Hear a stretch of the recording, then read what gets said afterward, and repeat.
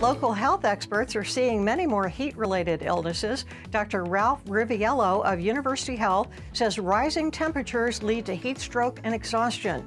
Metro Health has received 60 cases of heat exhaustion and one heat stroke this year compared to 34 last year at this time.